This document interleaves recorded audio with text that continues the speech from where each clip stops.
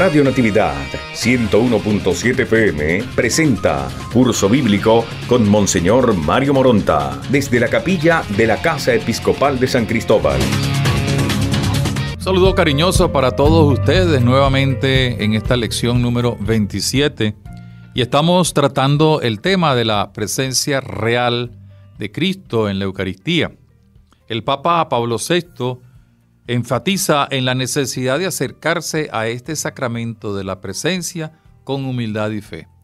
Aquí habíamos quedado en eh, la última sesión y es importante rescatar esta idea como eh, síntesis de lo antes dicho. Cristo está presente de manera real, transformada, allí en el, habiendo transformado el pan y el vino, y esto no se puede medir o explicar desde el punto de vista científico, sino que lo hacemos con la fe.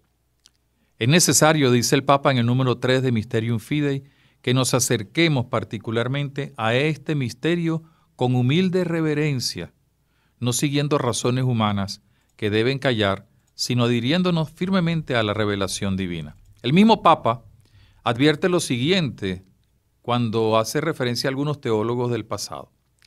Idénticas afirmaciones han hecho con frecuencia los doctores escolásticos que en este sacramento se halle presente el cuerpo verdadero y la sangre verdadera de Cristo, no se puede percibir con los sentidos, como dice Santo Tomás, sino solo con la fe, lo cual se apoya en la autoridad de Dios. Por esto, comentando aquel pasaje de Lucas 22, 19, este, esto es mi cuerpo que por ustedes va a ser entregado, San Cirilo dice, no dudes si esto es verdad, sino más bien acepta con fe las palabras del Salvador, porque siendo Él la verdad, no miente. Pablo VI apela a una norma de la Iglesia Maestra. No se puede desvalorizar los dogmas y las expresiones ciertas del magisterio y de las fuentes de la teología, sobre todo en este tema, como en el de los otros temas de la fe. Y dice el Papa Pablo VI, la norma, pues, de hablar que la Iglesia con un prolongado trabajo de siglos, no sin ayuda del Espíritu Santo, ha establecido, confirmándola con la autoridad de los concilios, norma que con frecuencia se ha convertido en contraseña y bandera de la fe ortodoxa, debe ser religiosamente observada y nadie, a su propio arbitrio o so pretexto de nueva ciencia, presuma cambiarla. ¿Quién podría tolerar jamás que las fórmulas dogmáticas usadas por los concilios ecuménicos para los misterios de la Santísima Trinidad y de la Encarnación se juzguen como ya inadecuadas a los hombres de nuestro tiempo y que en su lugar se empleen inconsideradamente otras nuevas? Del mismo modo, no se puede tolerar que cualquiera pueda atentar a su gusto contra las fórmulas con que en el concilio de Trento se propuso la fe del misterio eucarístico.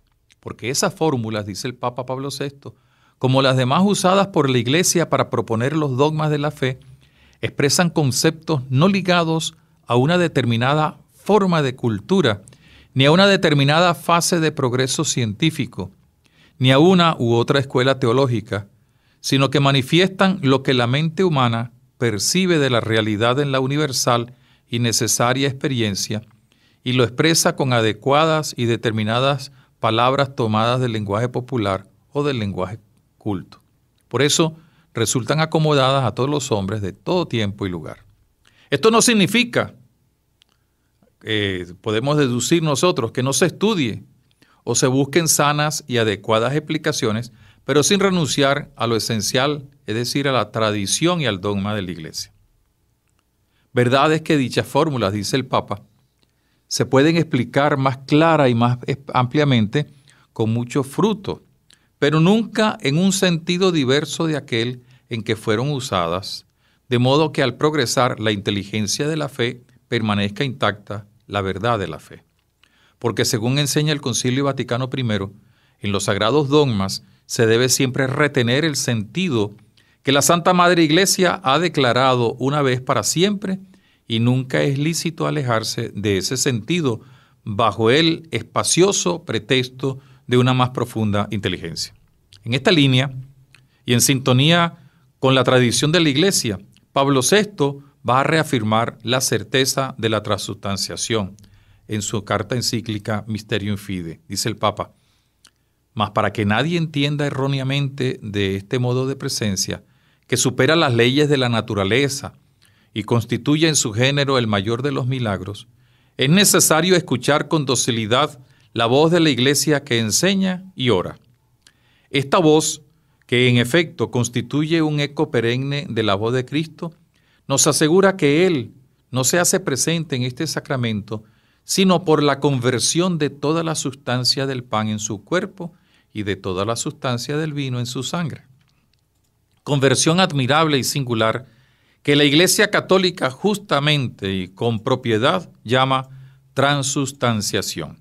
Dice el Papa, realizada la transustanciación, las especies del pan y del vino adquieren sin duda un nuevo significado y un nuevo fin, puesto que ya no son el pan ordinario y la ordinaria bebida, sino el signo de una cosa sagrada, y signo de un alimento espiritual. Pero ya por ello adquieren un nuevo significado y un nuevo fin, puesto que contienen una nueva realidad que con razón denominamos ontológica. Está en el número 6 de Mysterium Fide, que ustedes pueden ya eh, consultar en la plataforma diócesis de San Cristóbal.online, eh, uno de los documentos que hemos puesto como material de apoyo. Reafirmamos pues con fe que estamos ante el sacramento de la presencia real de Cristo. En el caso de la Eucaristía es la presencia no de una cosa u objeto, sino de la persona del mismo Cristo resucitado. Esto es clave, con el que gracias a su autodonación por la muerte y resurrección, nos encontramos y entramos en comunión. Es presencia verdadera, porque se basa en sus palabras e implica su entrega por amor. Es presencia real, porque hay identidad entre el Jesús histórico, el Señor resucitado y el Cristo eucarístico. Es presencia sustancial, porque contiene la misma persona de Cristo, y a diferencia de su presencia en otros sacramentos, resalta la identidad bajo forma sacramental de los elementos consagrados con la persona de Cristo glorificado. es presencia permanente, porque es fiel y definitiva, no ficticia y transitoria. Es presencia relacionada, porque debe entenderse en relación con las diversas formas de presencia en la celebración eucarística. ¿Cuáles son esas formas de presencia? Ya la mencionamos. Presencia comunitaria en la Asamblea Reunida. Presencia evangélica en la proclamación de la palabra, sobre todo del Evangelio. Presencia en los signos del altar, en los ministros. Y finalmente presencia somática especial en el pan y el vino consagrados, en el cuerpo y la sangre de Cristo. Se trata siempre, se trata siempre de una presencia real y personal de Cristo, aunque diversamente significada, que alcanza su plenitud y su máxima identidad, densidad en la presencia del pan y del vino, transformados, destinada a una presencia y a una transformación personal y eclesial, en compromiso y dinámica de una transformación del mundo hasta la plenitud de los tiempos. Ahora, a continuación, es bueno conocer algunas de las explicaciones que autores modernos han querido intentar explicar la transformación de las especies de pan y de vino en el cuerpo de Cristo. Por eso vamos a ver un poquito, ah, es importante saberlo, eh, conocer esas explicaciones, la transustanciación y otras explicaciones. Ya vimos al estudiar la historia de la teología de la Eucaristía, cómo para explicar la transformación del pan y del vino en el cuerpo de Cristo, algunos autores del medievo apelaron al concepto de transustanciación. Y esto era fácil de entender desde las categorías de la filosofía aristotélico-tomista, como ya se ha señalado. En los inicios del cristianismo y en la época de los padres, este tema no fue tan tratado como en la Edad Media. Berengario, recordamos, negó la transustanciación que fue asumida posteriormente como dogma en el concilio de Letrán IV. Trento lo vuelve a asumir como conveniente y propio para así designar al admirable cambio que sucede en el pan y el vino eucarístico y lo ratifica como dogma de la Iglesia. Y Pablo VI de nuevo lo asume y lo reitera como algo irrenunciable al hablar de la Eucaristía. Sin embargo, en el siglo XX, luego del Concilio Vaticano II, se retoma el tema con algunas características particulares. Hay una cierta insatisfacción respecto a ese modo ya clásico de explicar el misterio eucarístico y se busca un nuevo lenguaje filosófico y teológico para acercarlos más a la comprensión del hombre de hoy. Ese misterio admirable, Cristo glorioso, que se da como alimento a los suyos, se quiere comprender mejor para poder vivirlo y transmitirlo mejor a los demás. Según pudimos advertirlo, ya lo mencionamos, en esto ha influido un cambio en la óptica en torno al concepto de sustancia. La física de hoy no parte de la distinción entre sustancia y accidente, entre el ser íntimo y el suceso o devenir del mismo. No se entiende como sustancia la unidad última, indivisible, estable del ser, a la que le suceden los procesos accidentales. La sustancia no aparece ya como soporte metafísico de los accidentes en la filosofía moderna y sobre todo en la, física. El pan no es una sustancia, en todo caso sería un conglomerado de sustancias y se prefiere una concepción más dinámica con la permutabilidad entre materia y energía. Hay otros que consideran el lenguaje acerca de la transustanciación como un lenguaje más de orden cosmológico, frío y con poca referencia a lo salvífico y a lo antropológico. Es entonces cuando surgen algunas propuestas o teorías que vamos a mencionar a continuación, vamos a describirlas, sobre todo eh, por la necesidad de conocerlos y estar advertidos ante ellas. Primero que nada vamos a recordar algo sobre la transustanciación. No es aniquilación o destrucción de la sustancia del pan y del vino, sino mutación, cambio, transformación en algo mejor ennoblecimiento y planificación, lo mismo que sucede con el alimento en la persona. Las sustancias del pan y del vino se transustancian en algo mejor. Y esto no significa destruir las sustancias de pan y vino, sino más bien exaltarlas y ennoblecerlas. Por tanto, la transustanciación es la transformación del pan y el vino en el cuerpo y la sangre de Cristo, que acontece en la Eucaristía sobre todo en la anáfora con las palabras de la consagración y en particular del poder de Dios por Cristo y el Espíritu, permaneciendo la realidad de las apariencias visibles que llamamos las especies del pan y del vino. Por lo que, aun viendo una realidad empírica de pan y vino, sintiéndola, incluso saboreándola, lo que por ello se nos ofrece es su cuerpo y sangre, es decir, la misma persona del Señor resucitado, y no otra cosa.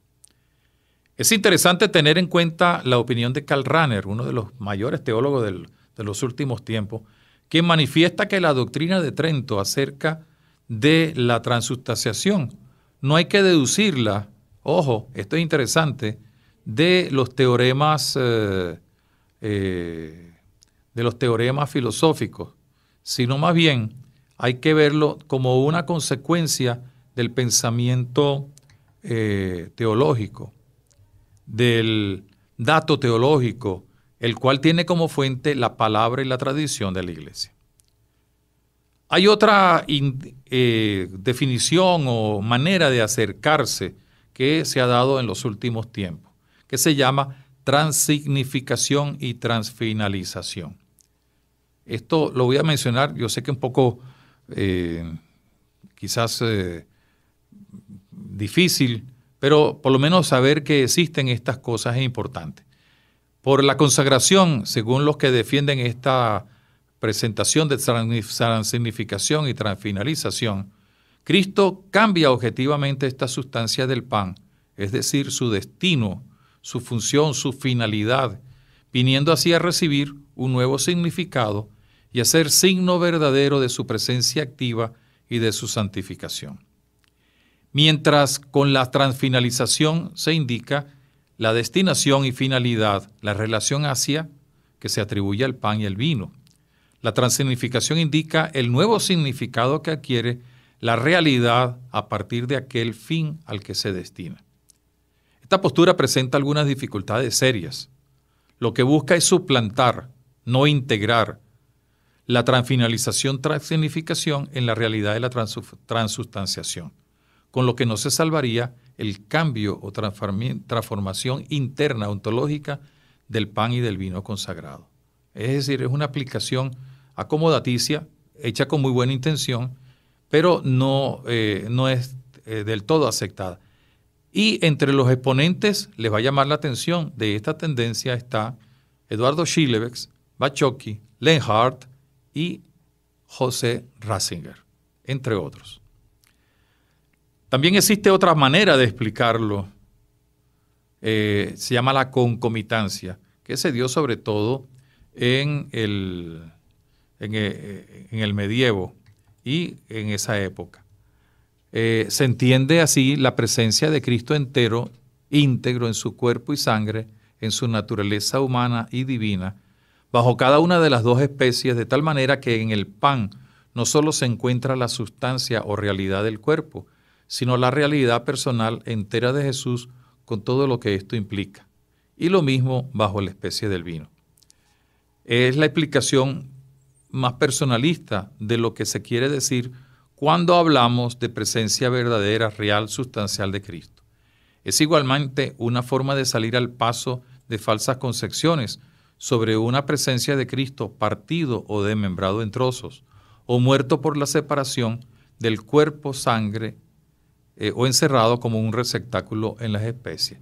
Esta tendencia, pues eh, lo que dice es que el pan y el vino siguen siendo pan y vino, pero se le pega, se le agrega se le añade el cuerpo y la sangre de Cristo. Dichas estas cosas, vamos a ver un poquito la relación que existe entre memoria, presencia, Pascua, escatología. Como ya lo hemos señalado anticipadamente, la memoria apunta a la presencia real de Cristo, pero eh, no se limita a un simple recuerdo de algo pasado. La memoria es presente, pasado, futuro del evento pascual. La memoria, ya lo vimos, afirma y hace confesar la presencia de Cristo en la Eucaristía.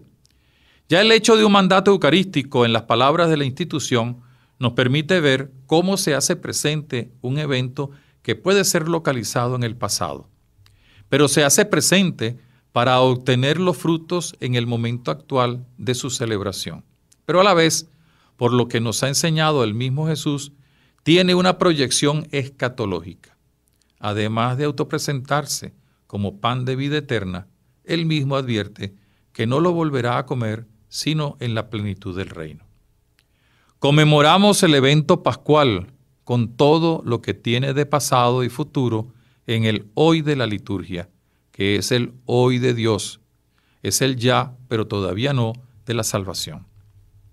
La perspectiva pascual y escatológica desde la nueva existencia del Señor glorioso, del Kyrios, del Señor, es la que mejor nos ayuda a comprender no solo el hecho de la presencia real de Cristo en la Eucaristía, sino también el modo de la misma.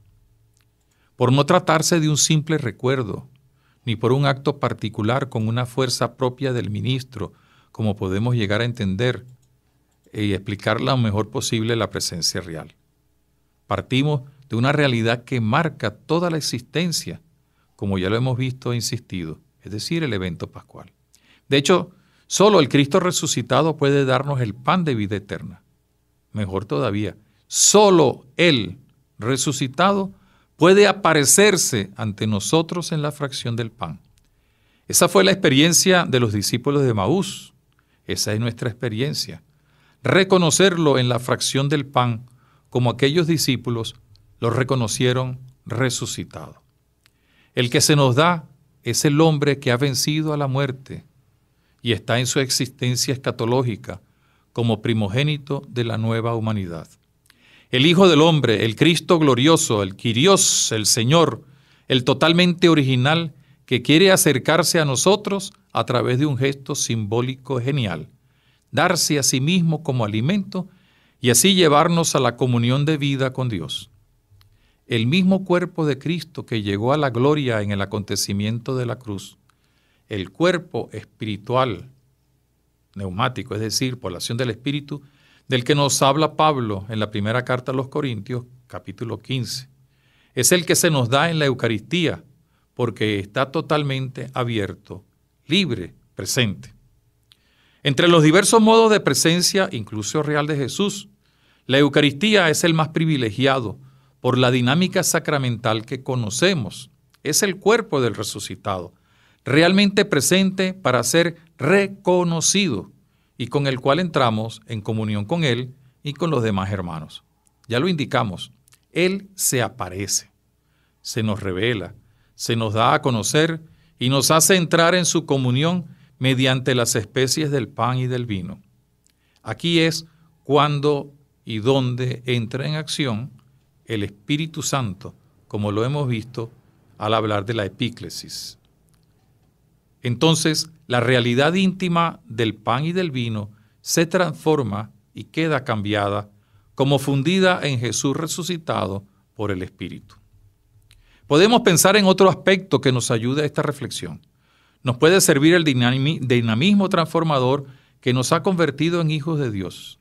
Es el efecto del misterio pascual con la nueva creación. No significa esta que se debe destruir lo que ya existe, más bien es dejar penetrar de la fuerza renovadora, purificadora y salvífica del misterio pascual, del evento pascual, del Cordero de Dios inmolado por y para nuestra salvación. La palabra creadora de Cristo también se manifiesta en su Eucaristía. Su palabra realizadora, no solo indicativa o interpretativa, es la que al pan y el vino le dan su nueva realidad pascual y escatológica. Es Él quien habita en plenitud estos dos elementos para darse a la comunidad. En la Eucaristía podemos decir que llega a culminación la creatividad dinámica de la palabra de Cristo. Esto es mi cuerpo. Esta es mi sangre. Todo esto acontece gracias a la acción del Espíritu. El mismo Espíritu Santo que resucitó a Jesús del sepulcro es el que también conduce dinámicamente a la escatología a toda la iglesia y a la humanidad.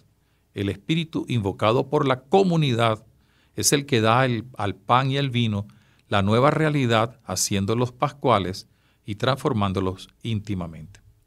Algunos autores hablan de la escatologización del pan y del vino, es decir, esa, esa característica de vida eterna, el pan de vida eterna, bebida de salvación. En el fondo lo que sucede en la Eucaristía es que se hace memoria de un presente que ya incluye el futuro. Por algo hablamos del pan de vida eterna y de la salvación en la bebida, bebida, el cáliz de salvación. Incluso en nuestras catequesis y enseñanzas solemos mencionar la realidad de anticipar el banquete del reino. Además, Proclamamos la muerte y resurrección de Cristo hasta cuando Él venga. No olvidemos que hemos hablado de la memoria del futuro en, una de las últimas sesiones. Adelantamos, hacemos presente en nuestra Eucaristía el evento escatológico del banquete del reino. La parucía, que es la venida final, al final de los tiempos del Señor, la parucía del Hijo del Hombre no es algo meramente futuro, ya es actualidad la vamos anticipando. La iglesia se incorpora a la resurrección escatológica de Cristo en la Eucaristía. Por algo es banquete anticipado del reino de Dios. Este sacramento no es solo actualización de la Pascua pasada, sino también de la Pascua del reino definitivo. La presencia del Quirios, por su parte, del Señor, ya no tiene sucesión de tiempo. Para Él todo es hoy, exaltado como está, junto a Dios y lleno de su Espíritu. No olvidemos nunca la fuerza de recreación, es decir, de la nueva creación que tiene el evento pascual. Nos permite entrar en el ámbito de lo divino al convertirnos, al convertirnos en hijos de Dios y nos hace ciudadanos del cielo. Quien nos va introduciendo al cielo es el mismo que transforma el pan y el vino en su cuerpo y sangre. Y lo hace como resucitado, con la cooperación del Espíritu Santo. El cambio que se da en las especies del pan y del vino no es la transformación de una realidad de este mundo a otra realidad de este mismo mundo, no. Es el cambio de una realidad concreta, medible, el pan, el vino, que es de este mundo, a una realidad que es superada y que pertenece a la nueva creación, es decir, el cuerpo glorioso de Cristo.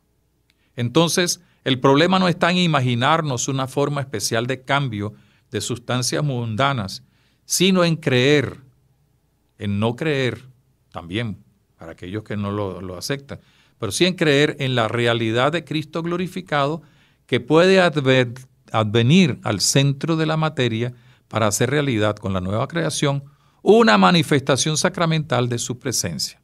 Así podemos admirar el hecho prodigioso de la transformación del pan y del vino en el cuerpo y la sangre de Cristo resucitado, pan de vida eterna y bebida de salvación. Como ustedes pueden ver, pues, tenemos que nosotros eh, entender muy claramente que estamos ante un hecho de transformación por el misterio de la Pascua del Señor. Hay una interrogante que nos queda por atender. ¿Cómo explicar todo esto con las hostias consagradas guardadas en el sagrario? Lo vamos a ver en el próximo apartado, poniendo énfasis en otra actitud necesaria en la Eucaristía como es la adoración.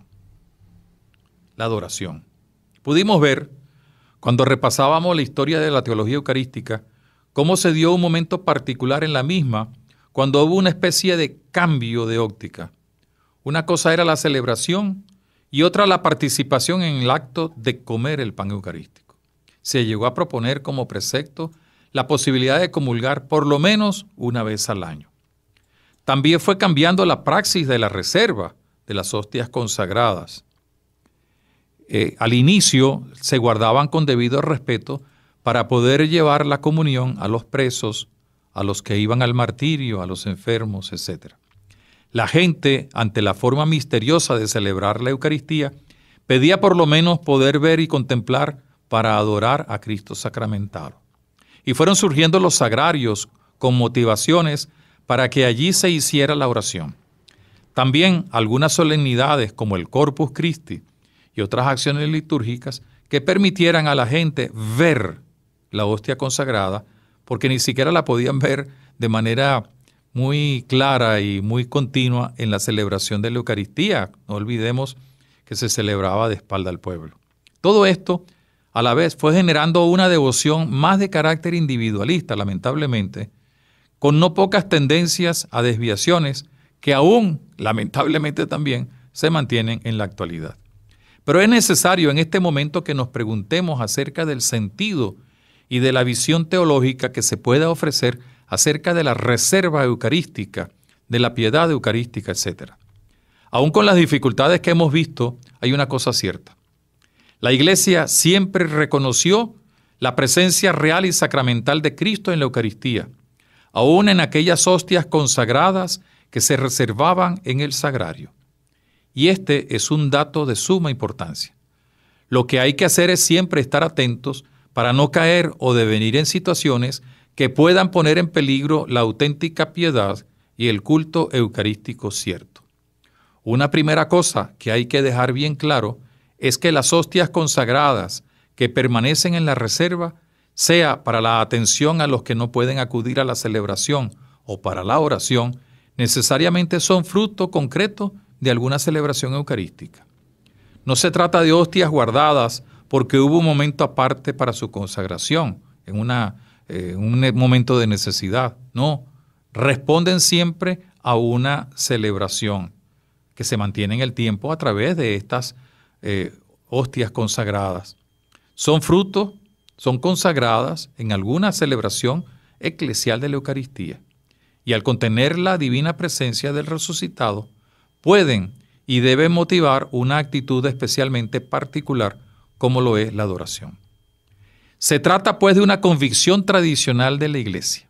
San Justino, por ejemplo, hace eh, referencia al alimento eucarístico eh, que se llevaba por medio de los diáconos a los ausentes. Siglos después, Trento reaccionará ante Lutero y defenderá la legitimidad de la adoración que los cristianos mantienen ante la reserva eucarística. Pablo VI llama la atención a quienes pretenden señalar que las hostias consagradas después de la misa no contienen la presencia de Jesucristo, porque hay algunos que así lo piensan.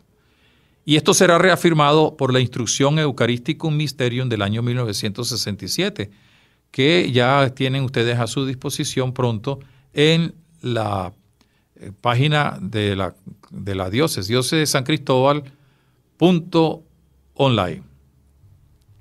¿Cuál es la finalidad de la reserva? Esta instrucción que hemos mencionado nos indica que la primera finalidad es la atención sobre todo a los enfermos, a los ancianos, a los incapacitados, y junto con ello la posibilidad de la oración de adoración.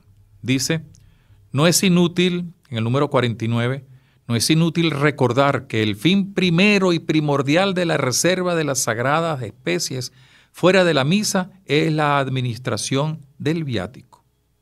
Se guardan para los enfermos, los ancianos, las personas incapacitadas, o para llevar después a, a lo mejor a través de un laico o de un diácono a las comunidades lejanas. Los fines secundarios son la distribución de la comunión fuera de la misa y la adoración de nuestro Señor Jesucristo oculto bajo las mismas especies. Pues la reserva de las especies sagradas, dice la instrucción, para los enfermos ha introducido la laudable costumbre de adorar este manjar del cielo conservado en las iglesias. Este culto de adoración se basa en una razón muy sólida y firme, sobre todo porque a la fe en la presencia real del Señor le es con natural su manifestación externa y pública. Hay que tener en cuenta los siguientes elementos al referirnos a la adoración eucarística, sobre todo después o fuera de la celebración litúrgica, extra misam, como solemos decir. Primero, hay que entenderla dentro del conjunto de todo el misterio y sacramento de la Eucaristía. Si esto no está verdaderamente claro, pues vamos a tener miles de dificultades y a lo mejor riesgos que correr. No hay que pensar que es algo distinto a tal punto que incluso hay quienes llegaron a pensar, y esto se sigue dando, de que es más importante que la misa, esa adoración eucarística en sus diversas maneras de realizarla. Hay quienes piensan esto, más importante es la, eh, la adoración, más importante es la hora santa que la misa. Yo recuerdo que recién llegado aquí al Táchira, eh, tuve una pequeña discusión con algún sacerdote que me decía que el 5 de julio y en otras eh, eh, celebraciones había que celebrar el Te Deum. yo le decía, bueno, pero es que mejor es celebrar la Eucaristía. No, pero más importante es el Te Deum y además está en, en continuación con la historia.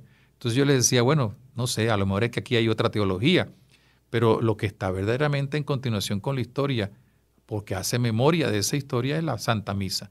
No estoy en contra del Tedeo, no estoy en contra de la bendición del Santísimo, porque la hacemos con mucha frecuencia, pero eh, estas actividades, estas acciones litúrgicas eh, eucarísticas son posibles gracias a la celebración, a la realización de, la Eucaristía.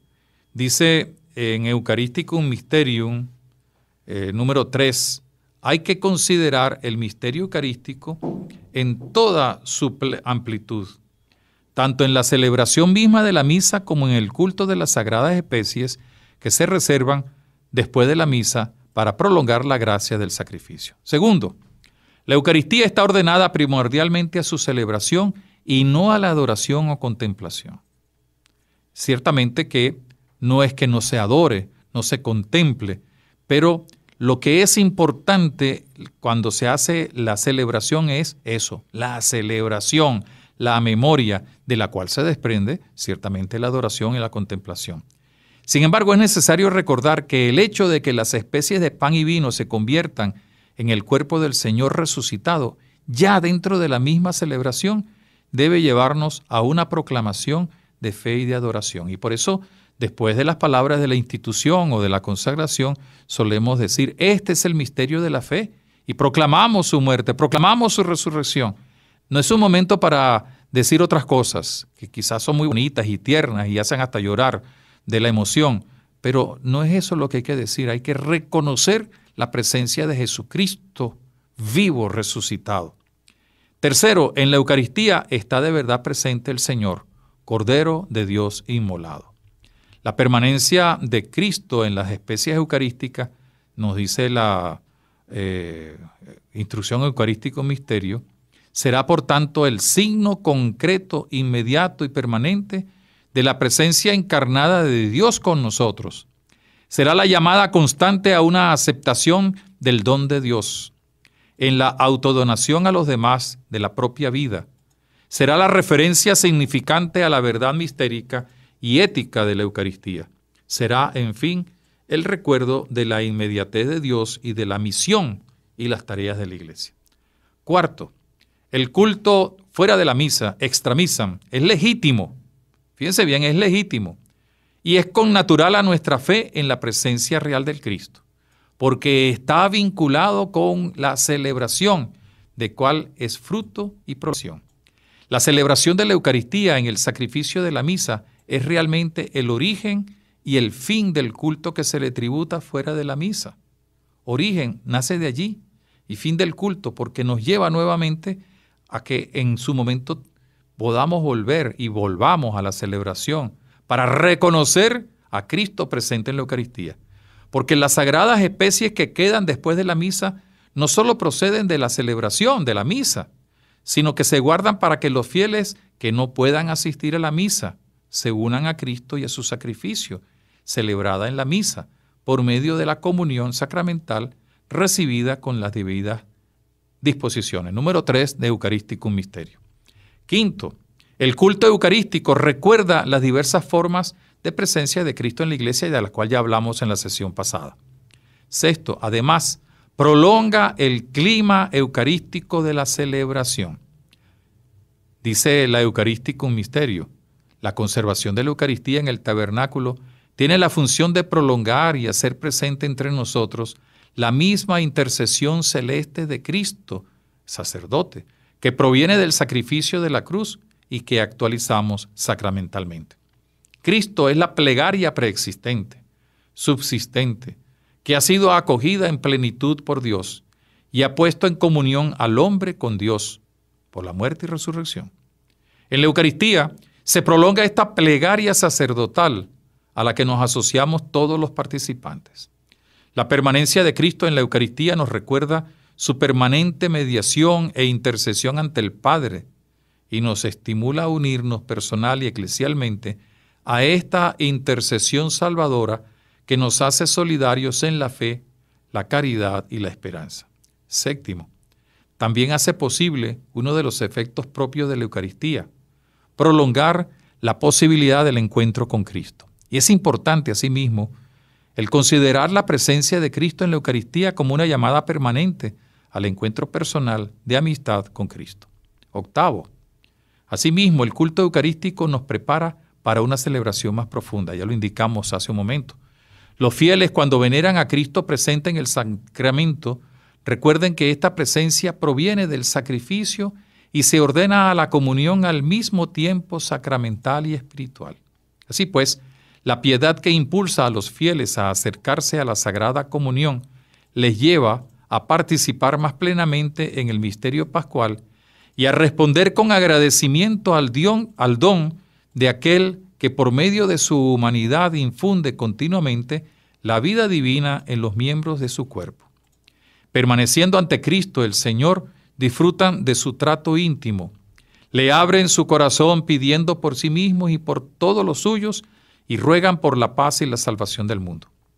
Ofreciendo con Cristo toda su vida al Padre en el Espíritu Santo, sacan de este trato admirable un aumento de su fe, su esperanza y su caridad.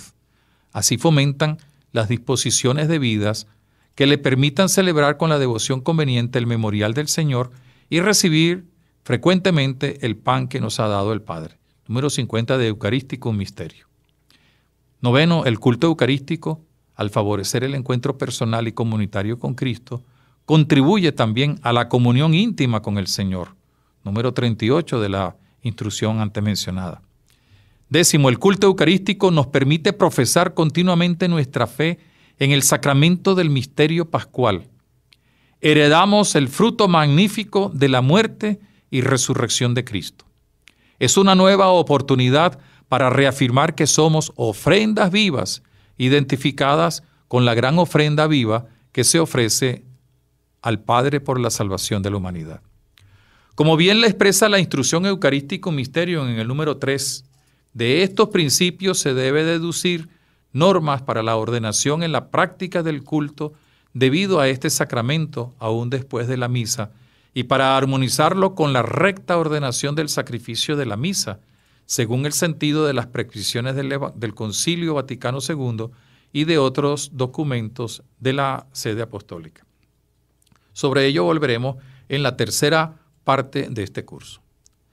Para terminar con este apartado sobre la presencia, quisiera transcribirle, gracias a la, al apoyo del teólogo Dionisio Borovio, las características que nos ofrece el Congreso Eucarístico de Sevilla de 1992 sobre la adoración eucarística. Primero, la adoración eucarística es una adoración trinitaria que implica la actitud de agradecimiento y admiración al amor de Dios Padre, la mediación salvadora de Cristo y el don gozoso y consolador del Espíritu. Todo esto está sintetizado en la doxología final de la plegaria eucarística. Segundo, la adoración es tiempo exterior y espacio interior para una concentración de la vida en Cristo, confesando su presencia activa permanente, su cercanía y acompañamiento, en orden a la transformación personal y social. La adoración es la contemplación y reconocimiento de la presencia sacramental y real de Cristo en las especies, fuera de la celebración de la misa, así como la prolongación de la Eucaristía en la vida.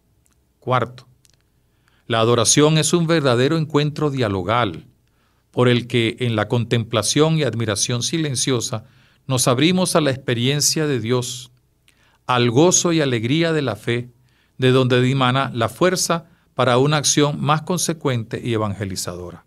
Quinto, la adoración es igualmente el gesto de solidaridad con las necesidades y necesitados del mundo entero, en cuanto que se tienen presentes en la oración, y desde esta petición solidaria verificada en la vida, se incrementan la justicia y la fraternidad los adoradores también participan a su modo de la tarea de la evangelización.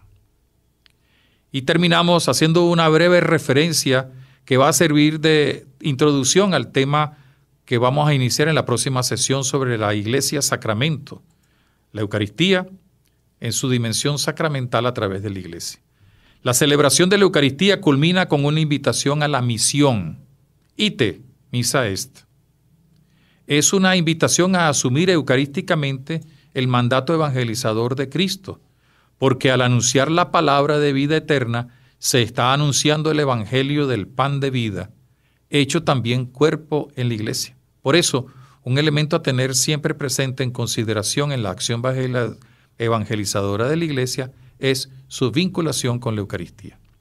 Recordemos que el magisterio de la misma iglesia nos ha enseñado que ambas realidades, palabra y Eucaristía son ejes y fuente de la vida y acción de la Iglesia. Además, los dos constituyen el alimento de vida eterna para todo creyente. Al poner en acción, en, en práctica, el mandato de Jesús de salir a evangelizar, además de evitar caer en cualquier forma de sacramentalismo, nos impulsará a centrar todo eso, todo en esos dos ejes. Por eso, como lo veremos a partir de la próxima sesión, se requiere de una eclesiología eucarística como síntesis de todo el ser y quehacer de la misma iglesia. La Eucaristía es el punto de partida de la misión, es el gran símbolo de la misión. La misión consiste en hacerse pan entregado, vino derramado por la vida del mundo. En la Eucaristía aprende la comunidad a acoger a todos, especialmente a los más pobres, a convertirse en alimento del que tiene hambre, en bebida del que tiene sed, vestido del desnudo. Tienen amordazado a Jesús aquellas comunidades en las que todas las puertas están cerradas a la misericordia con los hermanos. Una iglesia particular que reserva el Santísimo tiene en sí la misma memoria permanente de una misión ineludible, a la que ha de entregarse con alma y cuerpo, asumiendo para ello todos los riesgos que sean necesarios. La Eucaristía, desde esta perspectiva, es también profecía. Siempre está vigente la invitación a proclamar la muerte y resurrección del Señor, pascual, sacramentado, hasta su retorno al final de los tiempos y hasta cuando comamos con Él en el banquete del reino.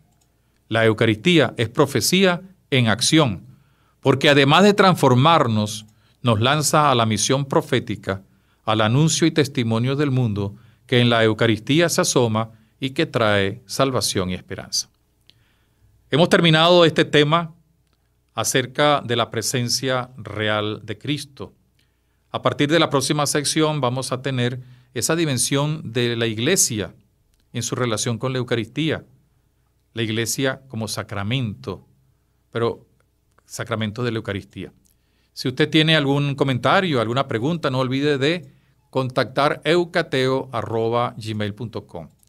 Y este material y el del próximo, ya la próxima temática de la próxima sesión, la puede usted encontrar en la página diócesis de San Cristóbal.online.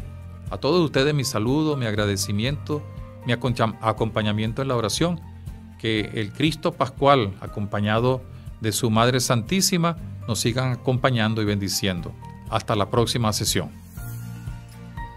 Esta emisora presentó el curso La Eucaristía, Sacramento de nuestra Fe. El material de apoyo a disposición en www.diocesidesancristobal.online.